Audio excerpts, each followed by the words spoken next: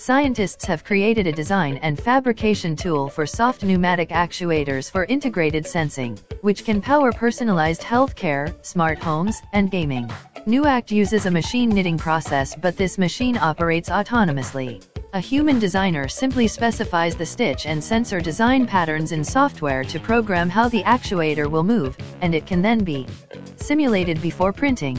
The textile piece is fabricated by the knitting machine, which can be fixed to an inexpensive, off-the-shelf rubber silicone tube to complete the actuator.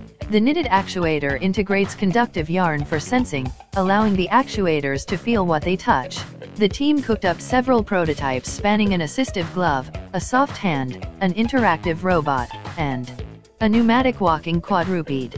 Their devices were wrapped in a soft, yellow fabric.